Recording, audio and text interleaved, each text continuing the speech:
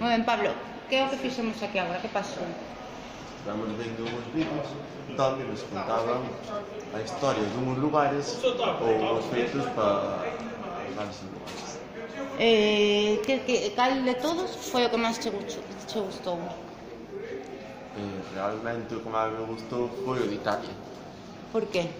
porque estaban intentando levar unha iniciativa adiante co seu esfuerzo. Algo máis, Caterina?